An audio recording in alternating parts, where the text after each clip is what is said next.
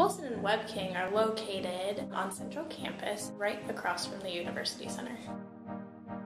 Both halls contain a 24-hour desk. Students can come and check out items such as pots and pans, videos and DVDs, and lockout keys. Rooms in both halls have a double occupancy, meaning they have two people per room. They also contain a sink vanity and a closet for each student. Both Wilson and Wiebking have a ground floor lounge and a basement lounge. Each lounge contains a television, and the Web King lounge on the ground floor contains a grand piano. Wilson and Web King have both a free kitchen and free laundry facilities. Web King Hall's second floor and third floor both have learning communities. The second floor is a performing and visual arts learning community, and the third floor is the all-women's learning community. Wilson and Wiebking have practice rooms and study rooms in each hall.